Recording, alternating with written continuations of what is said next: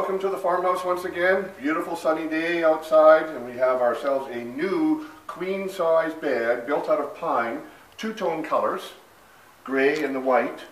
And we also put nightstands in with the picture. It's a very nice little set for a room. And we've also got a nice tall little linen cupboard for the, for the room. And we have a chest of drawers, all in the tones of grays, whites. Have a look.